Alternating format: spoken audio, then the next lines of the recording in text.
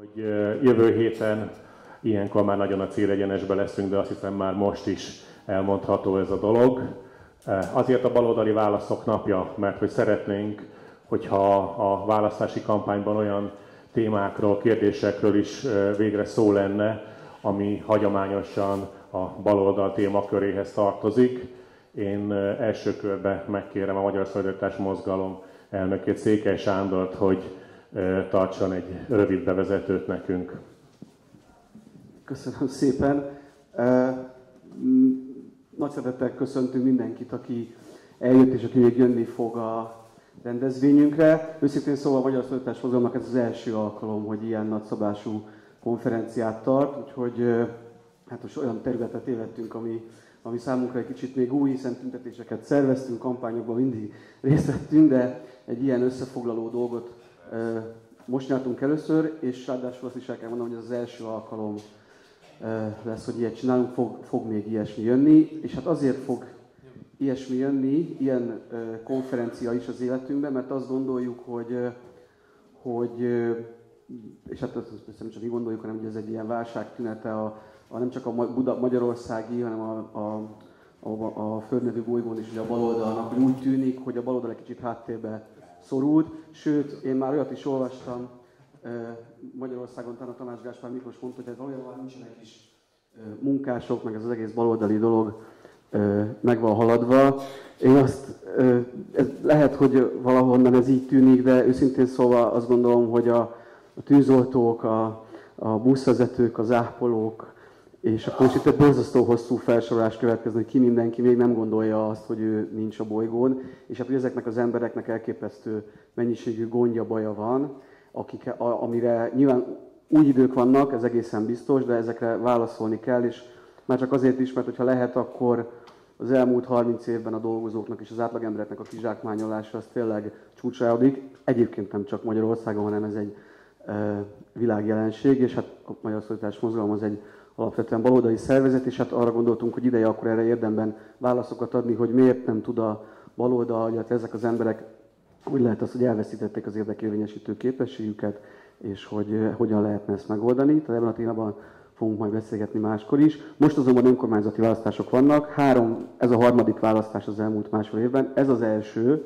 hogy az ellenzék eh, alkalmazkodva az új választási törvényekhez egy az egybe próbál indulni a Fidesz ellen. Úgy tűnik, hogy, hogy több helyen Budapesten is, és vidéken is sok helyen hát győzelmi esélyekkel indulunk és azt gondoltuk, hogy azért is szerencsés egy konferenciát tartani, hogy olyat, ahol a vidéki szereplők is elmondják, hogy mi a helyzet a budapesti szereplők is, és úgy általánosan is, hogy, hogy azon kívül, hogy ez a rendszer nem, és hát tényleg mindig ránk hogy azt csak annyit mondjuk, hogy Orbán Viktor és a Fidesz mondjon le, hogy ezen felül mi, mi hogy csinálnánk másképpen, illetve hogyan zajlik a választási kampány, mivel kell szembenézni vidéken, és hogy mit kínálunk mi, tényleg Szombathelytől Debrecenig, illetve hát a legnagyobb, az egyik legfontosabb szintéren Budapesten. Úgyhogy erről fog szólni ez a konferencia, rengeteg ö, ö, résztvevővel.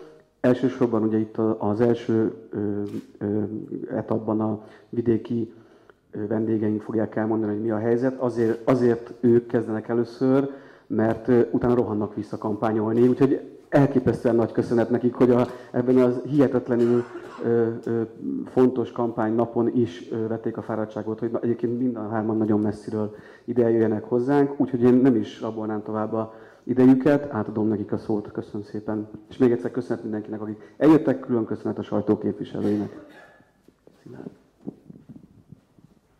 Köszönjük szépen Sándor. Hát az első panel, ugye, ami arról szól, hogy változások kora, választás és politika vidéken. Ugye ez azért nagyon fontos terület, mert azért az elmúlt 30 évben azt láthattuk, hogy a jobb oldalnak a főbázisai azok a vidéki, főként kis és kisebb települések, ahogy haladunk a megyei jogú városoktól, amelyek megadják az országos politikában azt a, azt a hátszelet, ami ahhoz szükséges a Fidesz és Orbán Viktor számára, hogy stabilan a kezükben tartsák ezt az országot. Azért is nagyon fontos erről beszélnünk, mert azért ezen a területen is jelentős dolgok történnek. Úgy tűnik kívülről nézve, hogy ezen a területen is ingadozik az a többség, amit maga mögé állítanak így vagy úgy. Ugye nagyon sok mindent hallani arról, hogy hát milyen szempontból aggályos az ilyen tevékenység, politikai tevékenység a Fidesz részéről azokban a településeken, ahol nincsen olyan szintű nyilvánosságrálátás és egyéb dolgok. Én első körben akkor megkérném Holoda Attilát, Hagyú-Szoboszló független polgármester jelöltjét, hogy legyen szíves megtartani a bevezetőjét, és aztán utána pedig a panel többi résztvevőjével beszélgetünk arról, hogy ők miként látják egy kis településen, illetve egy megyei jogú városban azokat a dolgokat, amelyek most a választási kampányban zajlanak. Lehet hallani, hogyha így beszélek? Köszönöm szépen, én nagyon köszönöm a meghívást, hogy ide jöhettem, hogy ide jöhettem önök és beszélhetünk erről. Bevallom férfiasan nekem az életem úgy alakult, hogy az életem egy részét Budapesten töltöm, egy részét pedig a, az én szülővárosom Hajdúszoboszlón. Volt időszak, amikor minden reggel indultam Hajdúszoboszlóról, ezt csináltam 8 éven keresztül, és jöttem Budapestre reggelente, és aztán mentem este haza, mert egyszerűen nem tudok tőle elszakadni. Hát aki, aki tudja, hogy mi az, hogy szülőváros, az pontosan érzi azt, hogy én miről beszélek. Ugyanakkor nekem mindannyiszor belehasít az agyamba az, amikor arról beszélünk, hogy Budapest és vidék. Ez ugyanis nem létező fogalom. A vidék, mint olyan, az nem egy nagy massza a vidéki emberek azok teljesen másképp gondolkodnak Hajdúszoboszlón, teljesen másképp gondolkodnak gondolom Szombathelyen, másképp gondolkodnak Békésámsonban, e, és attól függően mondjuk egy, egy Szabolcs-Szatmár Bereg megyei e, kis faluban a határ közelében is teljesen másképp gondolkodnak. Ebből következően, amikor arról beszélünk, hogy, hogy e, vidéken politika és vidéken választás, ez nem létezik. Minden egyes esetben Eh, ahhoz kell igazítani a választással kapcsolatos előkészületet, politikát, a megfelelő harcmodort, bocsánat, hogy így fogalmazok, de mondjuk úgy, hogy baloldali válaszok esetén mégiscsak ez, eh, ez egy helyén való eh, fogalom. Nincs olyan, hogy vidéki kampány. Olyan kampány van, eh, amit komolyan vesznek, és anyagilag is támogatnak. Ez az egyik. A másik, amit komolyan vesznek, ugyan, de csak elkölcsileg tudnak támogatni, aztán van egy olyan, ami, ami a feltartott kezű kampány, mert azért ilyet is látunk, hogyha valaki megnézi például, veszi a fáradtságot egy-egy ilyen kisebb településnek, mondjuk ilyen 5000 és az alatti településeknél, hogy kik indultak, hát a legtöbb helyen egy induló van, egy, az eddigi polgármester, aki természetesen függetlennek mondja magát. Én ezt borzasztóan rühellem ezt a szót, bocsánat a kifejezésért, eh, mert nincs ilyen, hogy független. Én, eh, amikor én elindultam eh, polgármester jelöltként, akkor is azt mondtam, hogy miközben az én ellenfelem harcosan hirdette magát, hogy ő független jelölt, akit a Fidesz támogat, a KDNP támogat, a helyi Fidesz fiók szervezete támogat, meg a Mi Hazánk mozgalom támogat, akkor mondtam azt, hogy én nem vagyok független. Én egy civil polgármester jelölt vagyok, aki, akit megkerestek a pártok és különböző mozgalmak, és azt mondták, hogy mondd el, hogy te mit szeretnél. Mondd el, hogy milyen ember vagy, milyen, milyen elképzeléssel futsz neki, és hogyha nekem ez tetszik, akkor én támogatlak. És én nagyon büszke vagyok arra, hogy Hajdúszoboszló esetében kilenc támogatónk van. Kilenc. Gyakorlatilag az lmp kívül az összes ellenzéki párt, azon kívül támogat minket ugye a Szolidaritás mozgalom, amit én nagyon köszönök, külön köszönök, és nem csak elköltse a támogatásuk, és ezt meg külön köszönöm. Mert azt szoktam mondani, és nem véletlenül tettem különbséget az erkölcsi és anyagilag is támogatott kampány között, vidéken pontosan ugyanannyiba kerül egy plakát, mint Hajdúszoboszlón vagy Budapesten. Pontosan ugyanannyiba kerül, és miközben én följövök Hajdúszoboszlóról, azt látom, hogy Budapesten minden második villanyoszlopon van egy plakátja az ellenzéknek, akkor azt mondom, hogy ez egyébként felesleges, de milyen jó jött volna nekünk egy ilyen jellegű támogatás, amit nem kaptunk meg a pártoktól, azon kívül, hogy mindenki borzasztóan azt mondta, hogy szorítunk nektek, csináljátok, hajrá.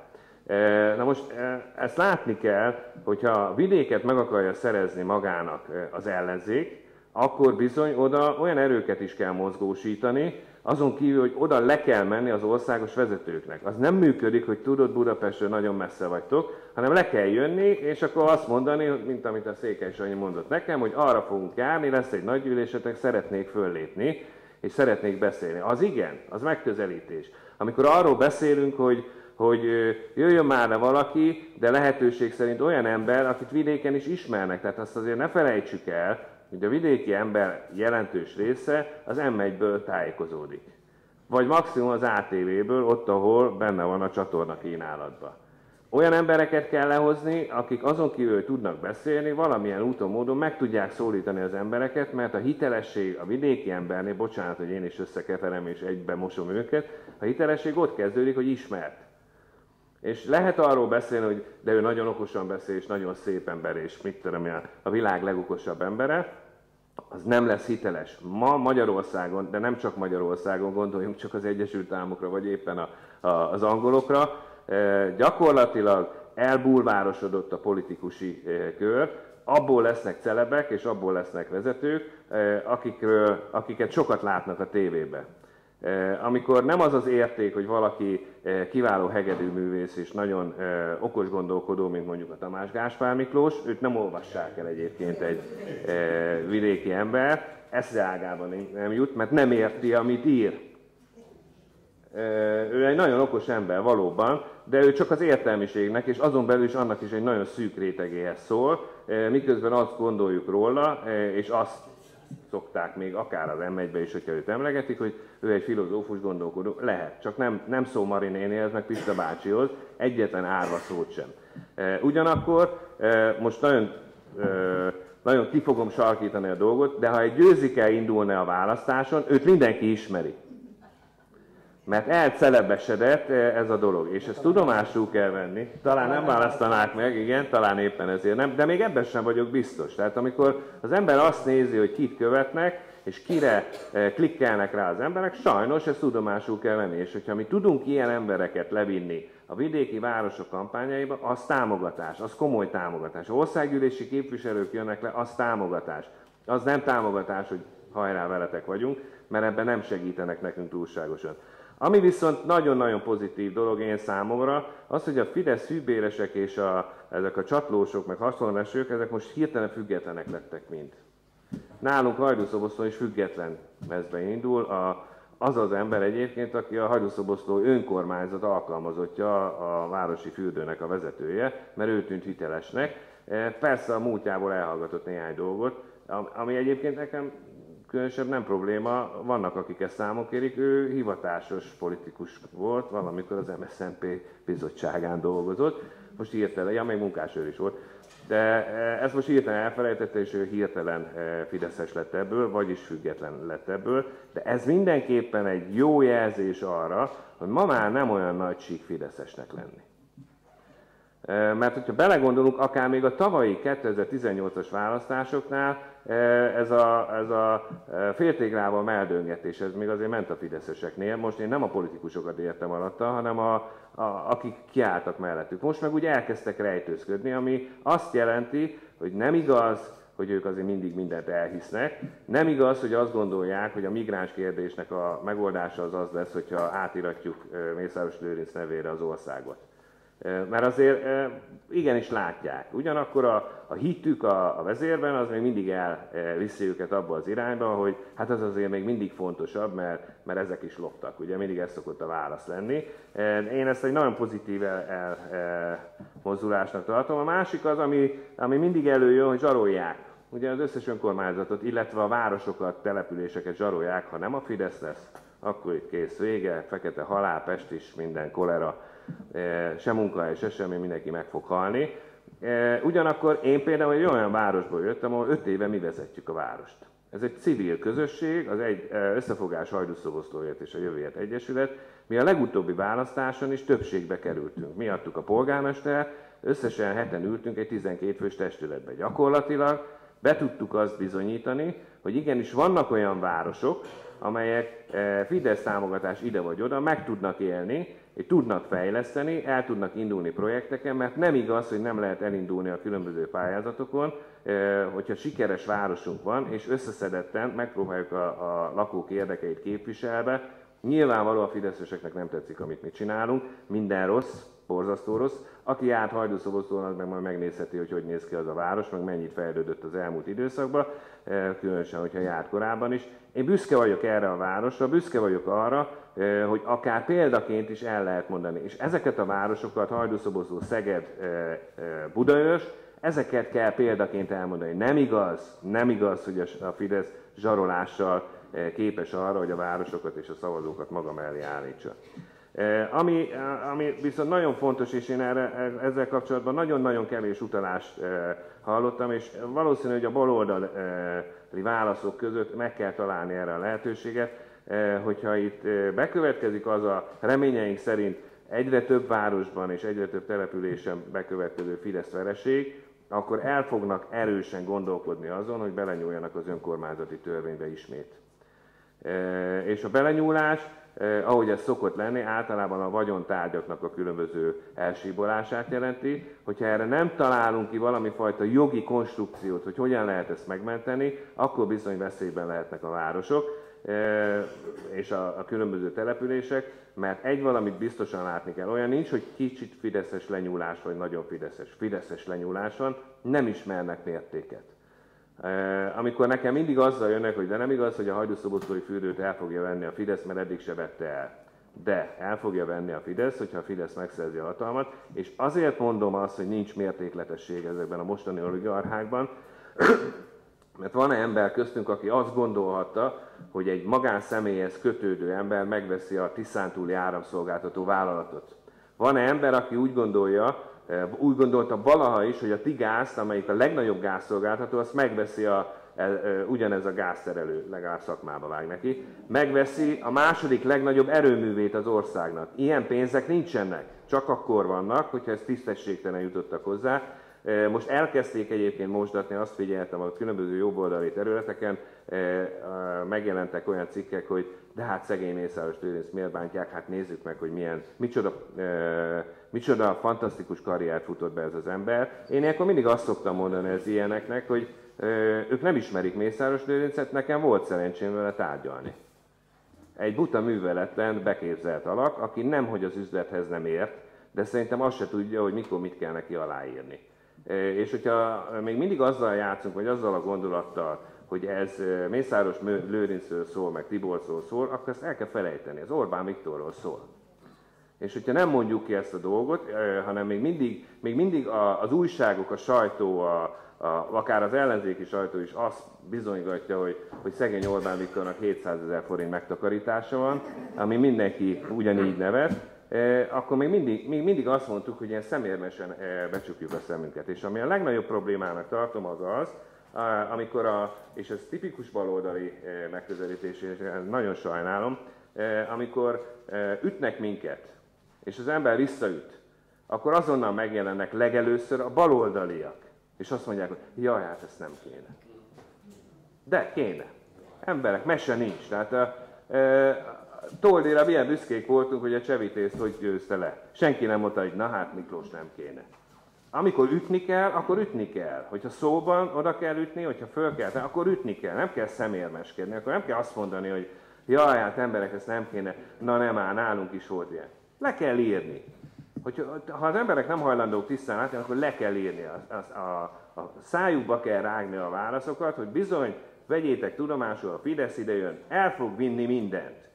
És én, amikor a hajdúszoboszlóiaknak is beszélek, akkor is elmondom, hogy lehet, hogy te itt a vendégtartásból élsz, és rengeteg szálloda van, de Mészáros Lőrinc már betette a lábát. Tudjuk, hogy Mészáros Lőrinc alatt kitértek. Betette a lábát. Megvett három-négy szállodát. Megvette a tigász, megvette a tisztász. Elhiszitek, hogy amikor neki fontos lesz az, hogy nála legyenek vendégek, akkor be fogja rendeletileg tiltani, hogy ti tartsatok vendéget. Jaj, hát azt mégse fogja megcsinálni. De meg fogja csinálni. Egyszerűen nem tudunk olyat kitalálni, amit nem hajlandók felülírni. Egyszerűen nem.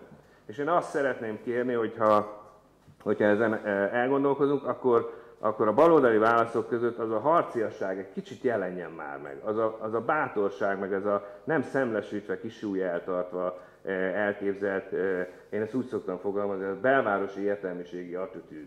Nem fog működni. A Fidesz ez az, amit tökéletesen fölismert vidéken, Budapesten, bárhol. Nem fog működni. Köszönöm szépen! Köszönjük szépen! Hát nagyon fontos gondolatok hangzottak itt el, és azt hiszem, hogy és akkor itt udvariassági sorrendben megyek egy kisebb településnek, adnám át a szót. Sértő Radics István Uszka polgármestere, egy kis településről van szó. Az emberek, és ez egy kérdés részemről, az emberek tisztán látják, hogy mi folyik ebben az országban? És ha igen, egy olyan településen, mint Uszka, akkor miért támogatják szavazatukkal ezt a mostani rezsimet? Na, köszönöm szépen a kérdést, de ha megengeditek, hát hagyd tegeződjek, ha megengedik, megengeditek, egy kis körképet mutatnék be a megyéről, szabolcs már Beleg megyéről, mielőtt ezt a kérdést megválaszolnám, hiszen Attila elmondta nekünk, hogy vidék és vidék között óriási különbségek vannak. Sőt, szabolcs már Beleg meg Hajdú megye, Hajdú Bihar megye hasonlítanak egymásra, de még ott is megvannak a, azok a, talán a nüansznyál is nagyobb különbségek, amik a megyét jellemzik, és azon belül az egyes településeket. Nos, hát mondhatom sajnos, hogy szabolcs már Beleg megye, ez most ebben a pillanatban egy Fideszes fellegvár, különösen a határmenti térségek, ahol, amik a, a, az ukrán határral, a, amelyek az ukrán határ mellett terülnek el, ott vannak azok a bizonyos kettős állampolgárok, akik átjönnek szavazni. Amúgy hagyjuktassak meg mindenkit, nem jönnek át olyan annyian szavazni, amennyien gondolnák. Például a, a tavalyi országgyűlési parlamenti választáson én ugye munkakapcsolatban vagyok a túloldali ukrán területen élő magyar nemzetiségű polgármesterekkel, és hát elmondták nekem, hogy bizony-bizony kikaptak, hogy nem küldtek át elég sok ember szavazni Magyarországra, meg nem küldtek be elég sokat az ungvári konzulátusra, és egy kis dádá volt, hogy elnye be gyerekek, hát azért nyomjuk ide a pénzt töménytelenül, hogy ti ilyen ilyen lazán vegyétek ezt a dolgot, szóval...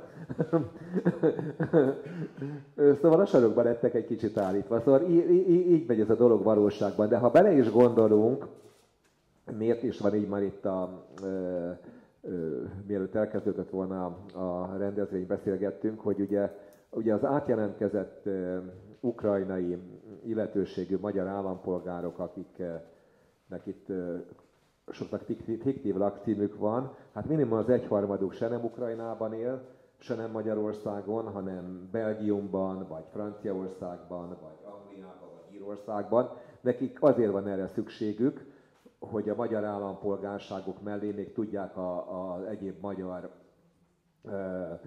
adminisztratív ügyeiket intézni, mert különben nem tudnak magyar rendszámú autóhoz hozzájutni, nem tudnak magyar bankszámlát nyitni, és így tovább, tehát nekik ezért van szükségük rá.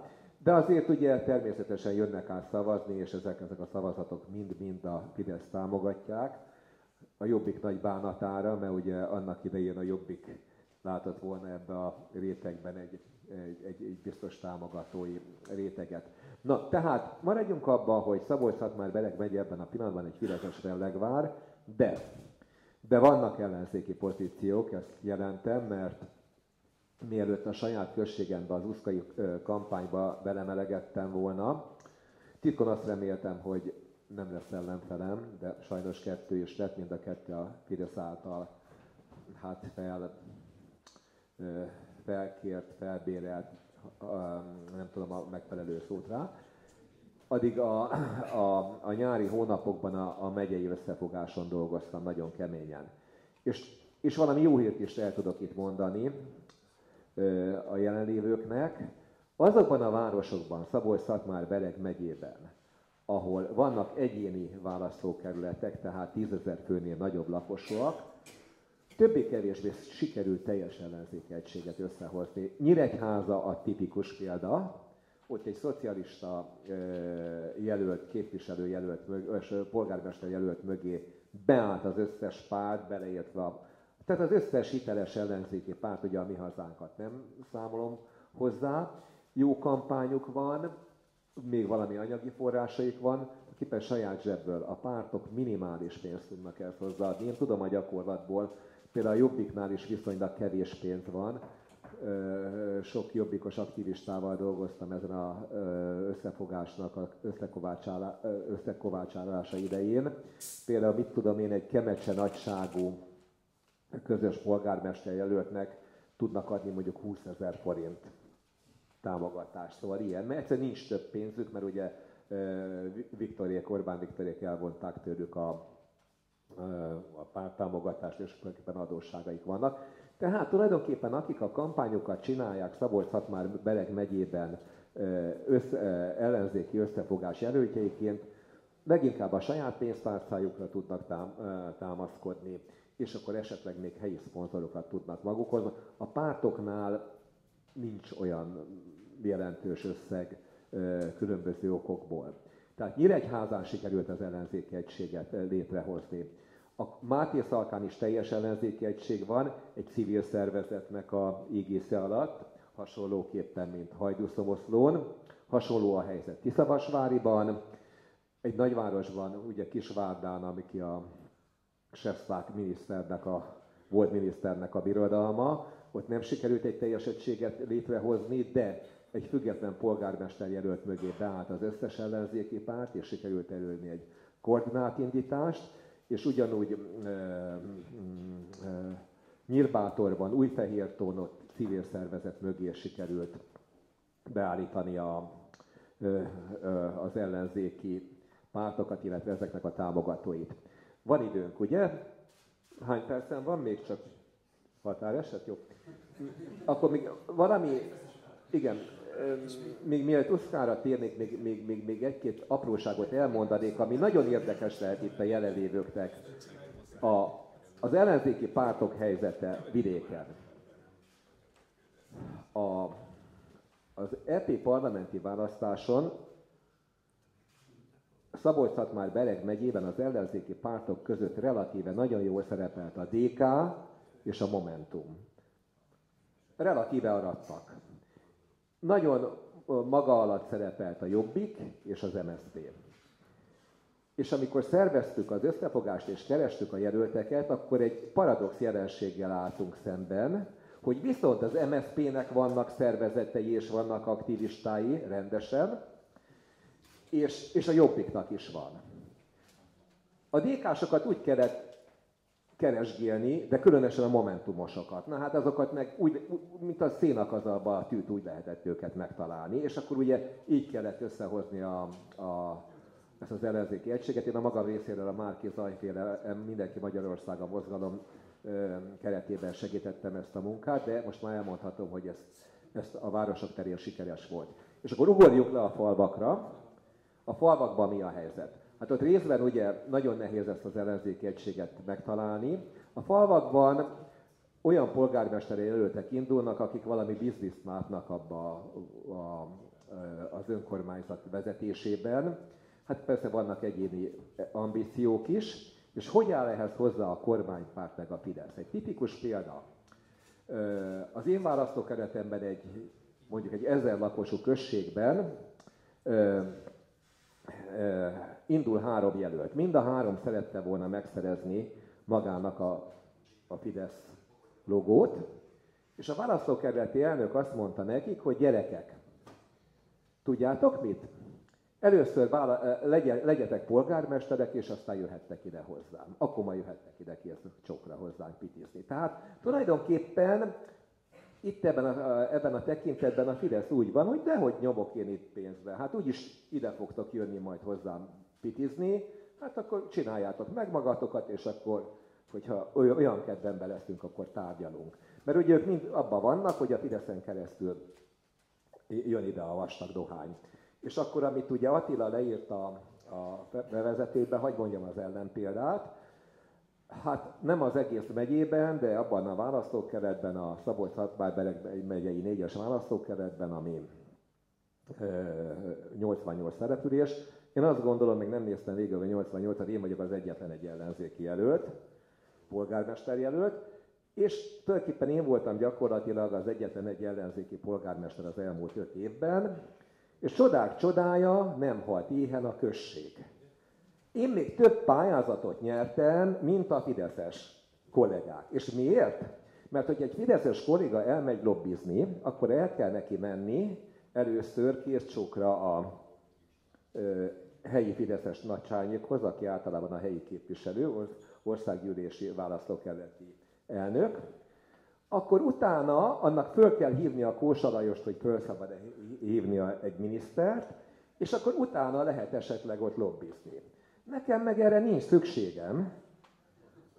Én azt hívok fel, akit akarok. És, és hát, ha találok én a minisztériumban, ha nem is a politikai vonalon, de a szakmai vonalon egy olyan embert, akivel én tudok beszélni. És mit gondoltok, hogy mi történik? Hál' Istennek még annyira nem tudták az apparátust kicserélni, hogy tíz eset közül mondjuk hétben meg, meg, megtalálom. Hogy ezt hogy csinálom, nem tudom, de akkor Attila itt az élő példa, meg tudjuk csinálni. Meg tudjuk csinálni.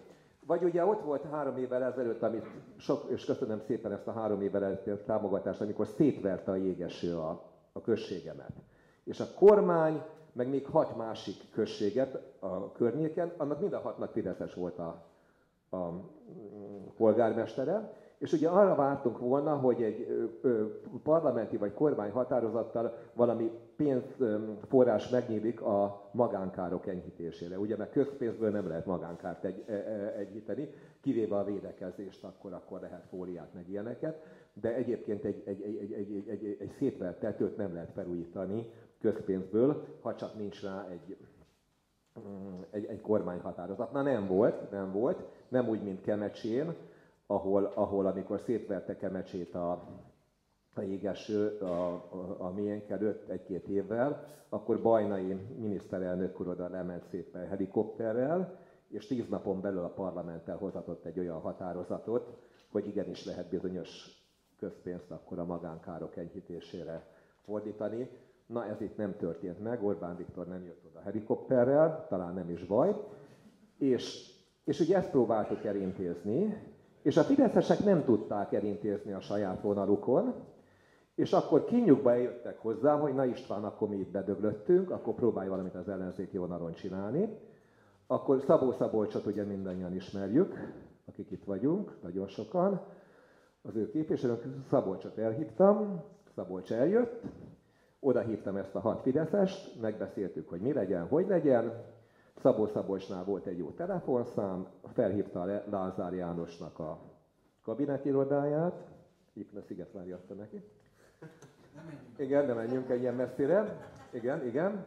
És mit ad Isten, fölvitte, valami, már nem tudom mi, a, a, a, a keresztnevére emlékszem, Dávid fölvette a telefont, csodálatos módon a Lázárnak a kabinetfőnöke, és akkor elmondtuk, hogy itt van még hat Fideszes, meg én, és ez volt, meg az volt, meg amaz volt. Ugyan a ennek a lobbinak az eredményeként nem nyíltak meg a, a források a magán károk enyhítése felé, de viszont megígérték, hogy kinyitnak egy új viszmajor alapot, egy második kört, és amit az elsőben nem tudtunk megcsinálni önkormányzati kárenyhítést, a második körrel meg tudtuk csinálni. Tehát az ellenzéki polgármester meg az ellenzéki parlamenti képviselő intézte el azt, amit a szerencsétlen Fideszes hierarchia miatt a, a, a Fideszes választott önkormányzati vezetők képtelenek voltak. Tehát ezt kell látni, és ezért nem kell félni ö, ellenzéki ö, polgármestert vagy képviselőket megválasztani. Jó lenne, ha tudnák az emberek, mert adott esetben talán nem is hátrány, hanem az élet azt mutatja, hogy bizonyos szempontból egy előny. Amit hát egy okos, meg, meg, meg tapasztalt, meg, meg ambiciózus választott önkormányzati tisztségviselő, ki, meg ki kell használni, és ki is tud használni, és ugye mellékel tábla mutatja, vagyunk itt ketten, akik ezt már talán megcsináltuk az utóbbi 5-10 évben egy párszor. Talán akkor én most itt abba hagynám, az USZKA az egy külön kérdés, majd egy második körbe. Köszönöm szépen, hogy meghallgattatok.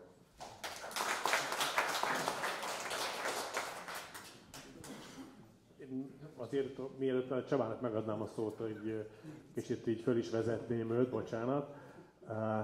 Már csak azért is, mert el akarom mondani, hogy azért nagy dolog az, hogy azok után a karaktergyilkos, milyen földbe döngölős lépések után, amit veled szemben foganatosítottak, itt vagy, tehát hasonló szituációkban nagyon sok olyan közszereplőt láttunk, aki hirtelen a lokálba kezd nyilatkozni helyi emberek visel dolgairól, és hirtelen elindul mondjuk azért, hogy aztán ilyen-olyan összefogást hozzon rosszabb helyzetbe.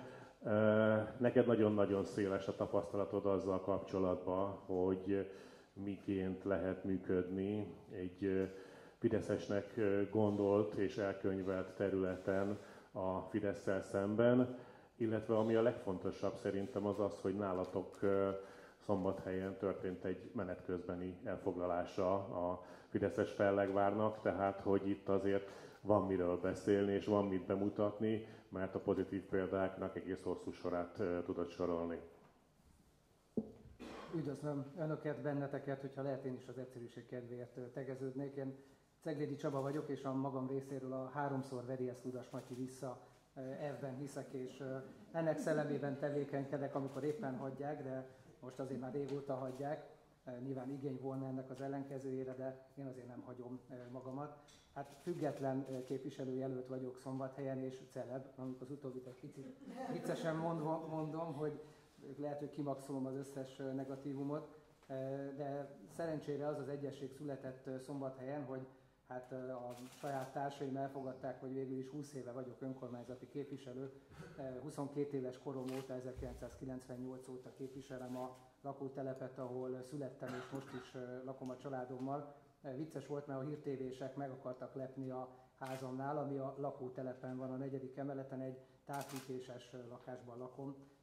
Úgyhogy a hírtévéseknek mondtam, hogy nagyon jó, hogy eljöttek ide a lakásomhoz, legalább láthatják, hogy hol lakik a a több milliárdos adócsaló, ugye ez lennék én, már mind a Fidesz szerint. A, az egyik legnagyobb problémának egyébként azt látom, hogy, hogy a, az emberekről esik legkevesebb szó. Bármennyire meglepő, én nem városfejlesztéssel, meg az önkormányzat pénzügyeivel foglalkoztam soha, bár voltam a város alpolgármestere is 2006 és 2010 között, a, főleg a szociális, az oktatás és egyéb terület tartozott hozzám, és ezzel foglalkoztam legszívesebben, és hogyha nyerjünk és hagyják, akkor majd újra ezzel fogok foglalkozni. Hát a fideszesek nem arról beszélnek, hogy mit tettek a szombathelyiekért, hanem arról beszélnek, hogy építettünk autóutat, amit nyilván a szocik kezdtek el még 2006-ot követően, meg építettünk 16 milliárdért stadiont, de arról, hogy az emberek hétköznapi problémáit hogy teszik jobbá, na, erről nincsen szó. És a, tragi- és a helyzet egyébként tragikus, mert 10 percig vártam a postán, amíg az előttem lévő hölgy veszekedett a postás kisasszonynal, hogy a kórházban fekvő édesapja nevében miért nem tudja a 9000 forintos rezsiutalványt fölvenni, és nem értette, hogy a posta miért ilyen bürokratikus, hanem a saját szememmel látom, nem hiszem el, hogy amit most a kormány nyilván a, a választók lekenyerezése érdekében megküldött a választóknak, annak szombathelyen, ami az ország egyik leggazdagabb városa, ilyen jellegű problémákkal szembesülünk, és én ismerem a lakótelepen élő embereket, hiszen magam is gyári dolgozók, édesanyám, édesapám egy lakástextil vállalatban dolgoztak, és ott nőttem fel a 48 négyzetméteren a lakótelepen. Tehát én ismerem a lakótelepen élő embereket, és nagyon sok egyedülálló van, tehát nagyon sok özvegy asszony van, aki egyedül most már vagy pár tízezer forintos özvegyi nyugdíjjal, de alapvetően egyedül küzdik, nagyon sok elvált, édesanyja, illetve édesapa neveli a gyerekét, és olyan jellegű hétköznapi problémákkal küzdködnek, amelyekre egyébként válaszokat kellene találnunk. És az, hogy szombathelyen 60-70 lakás nincsen felújítva, és százas, több százas várakozó lista van, hogy hogy lehet az önkormányzati bérlakásokba bekerülni, az, hogy nem növeljük arányosan, a megnövekedett költségekkel arányosan, szombathelyen nem növeljük a, a szociális területekre vonatkozó kiadásokat, ezek azok a hétköznapi tragédiák és problémák, amivel egyébként foglalkozni kellene. Én majdnem 20 éven keresztül így vagy úgy bármilyen pozícióban is, főleg a szociális és egyéb ügyekkel foglalkoztam, úgyhogy én ezeket látom, mert jönnek oda hozzám az emberek, és mondják egyébként, hogy mi a probléma, hiszen nyilván, hogyha az infláció mértékével növelik csak szombathelyen a, a szociális támogatások mértékét, az nem követi a krumpli, a hús, meg az egyebeknek a, a, a, a drágulását, és hát a, az emberek jó részének még szombathelyen is elfogy a hónap végére a pénze, és ezekre nyilván szombathelyen meg kell a, a, a, ezekre a szociális problémákra meg kell a választ adni, és én elmondtam a szombathelyieknek, hogy az elmúlt kilenc évben láthatták, ugye sajnos azóta a többség a Fidesz, Fideszé szombathelyen. Tehát láthatták, hogy mennyire nem törődött a Fidesz a hétköznapi emberekkel, mert sokkal fontosabb volt stadiont építeni, meg sokkal fontosabb, ami egyébként én haladás drukker vagyok, és én kivételesen azért nem vagyok annyira a stadionunk ellenére, bár egy picit túltoltuk a stadiont, és a korábbi 60 millió forint helyett most 400 millió forintba kerül évente a fenntartása, ami szintén az adófizetők pénzéből megy, és most újabb 4,5 milliárdos labdarúgó fejlesztésről döntött a kormány tegnap, és újabb 4,5 milliárd érkezik Szombathelyre, csak ettől még több tízezer szombathelyinek az élete nem válik jobbá is. Hát én többek között a magam részéről ezzel akarok törődni, és hát ugye független képviselőjelölt vagyok, de nyilván nem független azoktól a, a, a közösségektől, amelynek a, amelyeknek, a, amelyeknek a tagjának érzem magam, és hát nyilván én büszkén vállalom a, a baloldaliságomat, és hát a Ceglédi Csaba név a szavazó lapon pártok nélkül én azt gondolom, hogy a választóimnak, meg a választókörzetemben élőknek elég útmutatás lesz.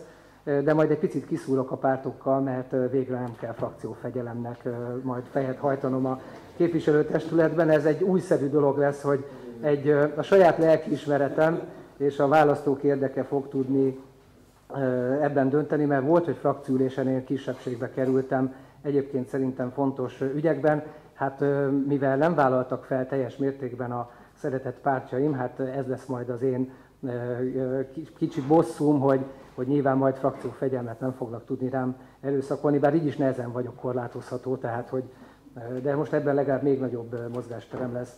Egy-két gondolatot még itt a, felmerültek kapcsán is el szeretnék mondani, hogy, hogy a, az egyik legnagyobb problémát abban látom, amit te is mondtál, hogy a baloldali emberek ilyen értelmiségi gőggel kezelik a különböző negatív dolgokat, és van a Stockholm szindrómás sajtónk, aki gyakorlatilag még a mai napig is az ellenzéki különböző szereplők cseszegetésével van elfoglalva, miközben egyébként azok a negatívumok, amelyek minden nap megtörténnek, ezek nem kapják meg kellő hangsúlyt. Mit csináltak Donát Annával, nem akarom mondani. Mit csinálnak most a László Imrével? Közben kiderül, hogy Borkai Zsolt, Győr Fideszes polgármestere örömlányokkal hetyeg Horvátországban egy hajón, fölkerültek erről kapcsolatban fényképek az internetre. Nézzétek meg, hogy László Imrével mit csinálta a Szenny sajtó a Hír TV-vel az élén, a Pesti srácokkal és az Origótól mind M1 híradó, amit csak el lehet mondani. A mi sajtónk pedig nézzétek meg, hogy milyen távolságtartással kezeli, hogy Borkai Zsolt nyilvánvalóan korrupciós pénzből, hiszen miben másból repült volna el Horvátországba, és miből vett volna meg luxus prostikat magának, mivel szórakozna egy jakton. Ezzel gyakorlatilag a mi úgymond független sajtónk, nem a miénk, hanem a, a kormánytól független sajtó, pedig milyen ügyes távolságtartással kezeli. Hát nem tudom, mi lenne, hogyha egy ellenzéki politikusról kerülnenek elő jakton örömlányok társaságában fotók. Rögtön jönne egyébként a kormánytól független sajtó, és még ő is lehúz, ráhúzná a, a vizes lepedőt. Tehát így mondjuk azért eléggé nehéz. Én hiszek a független sajtóban, de én azt gondolom, hogy a, az újságíróknak azért ezen el kellene gondolkozniuk, hiszen az elmúlt kilenc évben, amit a Fidesz csinált a nyilvánossággal, és amit csinált a sajtóval, az egy hatalmas tragédia a sajtószerveknek egy jó része már nem sajtótermékként működik, a szerkesztőségek nem szerkesztőségként működnek, gyakorlatilag propagandát gyártanak, és akár az én példám is jó példa lehetne rá, de most egy picit szokatlan, hogy ceglédi csabázást, itt van egy kampány, és nincsen ceglédi csabázás. Bár még van 8 nap hátra, úgyhogy nem kiabálom el, de egyébként nagy megtiszteltetésért, mert ugye én reggel indultam Szombathelyről, és közben hívtak, hogy tegnap éjjel kikerültek óriás plakátok velem Szombathely, Szombathelyen, még soha nem szerepeltem óriás plakáton Szombathelyen. Rajta van még Gyurcsány Ferenc, illetve Nemény András a, a szombathelyi ellenzék polgármester jelöltját. Innen is gratulálok egyébként a DK szavazók, illetve a Ceglédi Csabát támogatóknak a, a mobilizálásához, hiszen meglátnak bennünket a, a, és egyébként jó a fotó rólam is, meg az Andrásról a Feriről már nem is beszélve, úgyhogy azért nyilván vannak ilyen próbálkozások. Ez is jól mutatja, hogy nagy bajban van egyébként, egyébként szombathelyen a, a Fidesz, és hozzáteszem, hogy a szombathelyi Fidesz két dolog miatt bukott meg majdnem öt éve, csak 500 szavazaton múlt, hogy nem szereztük meg a polgármesterséget. Egyrészt volt egy drog ugye a, a szombathelyi fideszeseknek, amit én hoztam napvilágra, és a mai napig büszke vagyok rá, hogy megtettem, és nem azt csináltam, amit mások csinálnak, nem a fiókba szántam, és nem álltam neki zsarolni vele senkit, ha már megkaptuk azt a felvételt, hogy a szombathelyi fideszek, fideszesek drogoznak egy hajón, jelzem a Balatonon, illetve az Adrián, csak a párhuzamot a borkai ügyével kapcsolatban. Tehát nincs új, a nap, nincs új a nap alatt, igen, a fideszesek egyféleképpen hajlandóak csak szórakozni. Egyrészt, egyrészt, egyrészt nyilvánvalóan negatív hatása volt a szombathelyi fideszesek megítélésére, hiszen Szombathely mégiscsak egy büszke, konzervatív, keresztény, római katolikus város, és nyilván azért a jobboldali szavazók jó része nem nézte jó szemmel, hogy mit csinálnak a fideszesek, másrészt meg, hogy nem törődtek az emberekkel. Tehát, hogy ez volt a két oka, ami miatt 2014-ben szombathelyen a 14 egyéni választókörzetnek a felét megnyertük, 7 egyéni körzetben nyert a baloldal, hétben a Fidesz, és ugye igazándiból a polgármester választáson múltól 500 szavazattal kapott Hipkovics György, tehát ezen múlt egyébként a szombathelyi siker. A fideszesek azóta sem törődnek egyébként a szombathelyiekkel.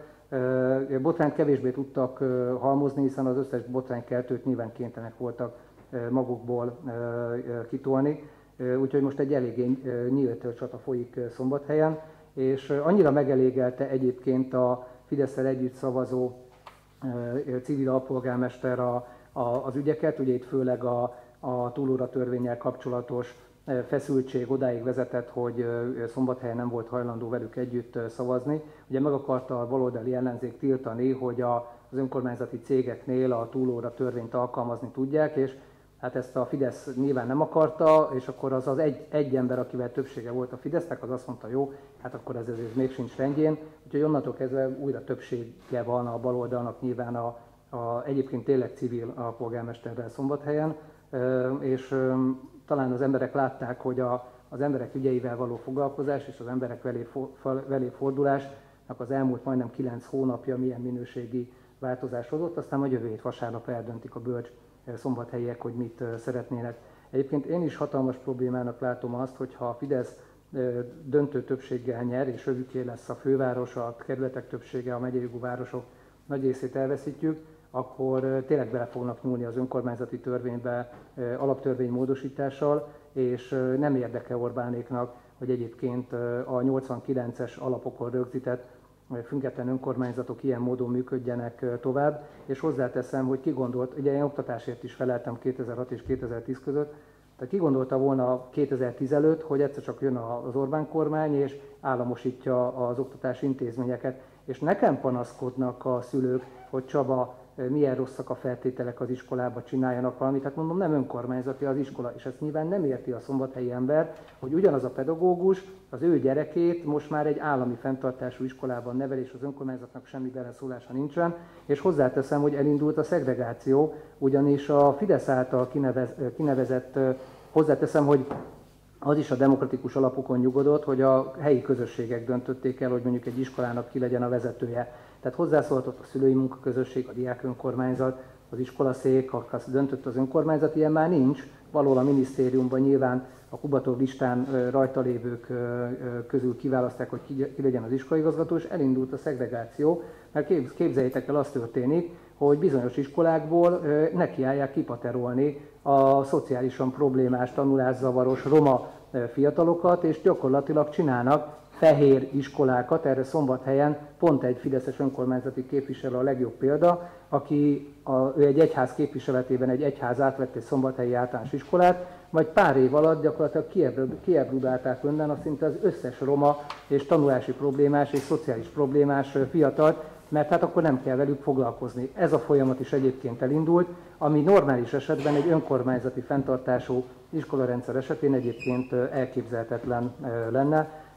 Én azt gondolom, hogy még durvább dolgokat fognak csinálni. Például amikor Bükön, hogy Hajdúszobosztóhoz csatlakozzak, 2014-ben ugye azok voltak a hírek, hogy Simicska Lajos, aki akkor még más pozícióban volt, meg akarja szerezni az ottani önkor részben önkormányzat, nézben megyei önkormányzati tulajdonú Bükui gyógyfürdőt.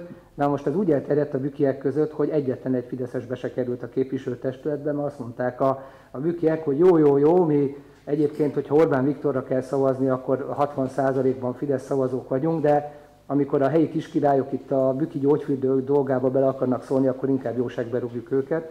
Tehát legalább ez a bölcsessége megvolt a, a bükieknek, és ez a veszély már 2014-ben is megvolt, és szerintem ez a veszély még nagyobb lesz hogyha a, a Fidesznek nem lehet ellensúlyt támasztani az önkormányzatokban, és nem arról van szó, hogy ilyen végvári csatákat akar az ellenzék a, a különböző önkormányzatokban csinálni, hisz az önkormányzatok nem csataszinterek, hanem az helyi emberekkel való törődés, de pont azért, hogyha ha semmi nem változik, és gyakorlatilag ugyanaz lesz a felállás most 2019. október 14-től, mint ahogy ez az elmúlt években megszokhattuk, akkor biztos, hogy hozzá fognak Orbánék az önkormányzati rendszerhez nyúlni, aminek a végén a választópolgárok fogják ennek a levét meginni, mert az önkormányzat gondoskodása, az, hogy az önkormányzat még mindig valamivel bele tud szólni a helyiek ügyeibe, ez gyakorlatilag meg fog szűnni. Hogyha kézi vezérelve a minisztériumból fogják a, a pénzügyileg is meghatározni, hogy mire mit lehet fordítani, ha majd szombathelyen nem lehet arról dönteni, hogy milyen szociális támogatást is mekkora mértékűt adjunk, és végtelen a sor. Ha már ezekbe se dönthet majd az önkormányzat, akkor gyakorlatilag tényleg visszatértünk a, a tanácsi rendszerbe, és az én édesapám, aki még MSZNP tag sem volt, DAFKE nem, mert nagyap, nagyapáméknak a földjeit elvették az előző rendszerben, és mondjuk nagyapám az ÁVÓ vendégszeretetét is élvezte 49-ben, és édesapám nem volt hajlandó az MSZNP-be belépni. Tehát, hogy csak mondom, hogy nyilván mindenkinek mások-mások a, a, a gyökerei. Na, édesapámék 88-89-ben nem erre az útra akarták rálépetni eb, eb, ezt az országot, és gyakorlatilag ugyanoda megyünk vissza, és teljesen egyértelműen látszik, hogy Orbánék mind Kádár köpenyéből bújtak elő. Gyakorlatilag nekik tetszett, a, ezt Orbán azt egyszer mondta is, hogy neki nem volt gond a 89 előtti rendszerrel, csak az volt a baj, hogy nem ők csinálhatták, és gyakorlatilag ezt, ezt fogják ők megvalósítani. Tehát azért minden önkormányzati választáson résztvevő emberé, embernek megvan az a felelőssége, hogy a helyi szavazás egyébként az ellen szólhat, hogy ne tudják a felszántani az önkormányzatok megmaradt függetlenségét és szabadságát, és hogyha nagy városokban, a kerületek többségében, a fővárosban sikerül nyerni, nem beszélve nyilván a nagyobb más nagyobb településekről is, ha nem sikerül nyerni, akkor én azt gondolom, hogy Orbánéknak semmilyen ellensúlya nem lesz, ezek, hogy ezeket a változtatásokat megcsinálják hogyha Kadácsony Gergelynek fogják hívni Budapest főpolgármesterét, hogyha az ellenzéki polgármesterjelöltek nyerik a kerületeknek többségét, és legalább 4-5-6 megyei jogú városban ellenzéki polgármester lesz, akkor Orbánék nem fogják azt a konfrontációt fölvállalni, hiszen elveszítik helyben a sajtót, elveszítik helyben részben a nyilvánosságot, és hozzáteszem, hogy azért is fontos egyébként az ellenzéki szavazóknak, mert egy csomó országgyűlési képviselő, akinek alátoltak mindent mondjuk egy ö, ö, vidéki, a vidéki Magyarország választókerületében a helyi települések alátoltak mindent a polgár, az országgyűlési képviselőnek, ez nem lesz meg. Tehát az a Fideszes országgyűlési képviselő, akinek a háttérbázisát az a település adta, ami szintén Fideszes irányítású volt, el fogja ezt a bázisát az országgyűlési képviselő veszíteni, és egy jó részük egyébként semmit nem dolgozik a kerületben, gyakorlatilag rákapaszkodnak a helyi önkormányzatnak a dolgaira, meg a rendezvényeire, és én azt gondolom, hogy ezzel egy hatalmas lépést lehet az irányba tenni, hogy 2022-ben hát vagy ne nyerjen a Fidesz, vagy legalábbis ne legyen kétharmada. A legnagyobb probléma az az, hogy a rossz ellenzéki egyeztetéseknek köszönhetően egyébként a fideszeseknek gyakorlatilag két-három fős többséggel megvan a, a kétharmada, ami, egy azért, ami azért tragédia, mert gyakorlatilag bármihez, lásd a laptörvény hozzányúlhatnak, és bármilyen ö, sarkalatos törvényt, amihez kétharmad kell, meg tudnak változtatni. Sajnos az ellenzéknek ez sem sikerült megakadályozni a tavaly tavasszal,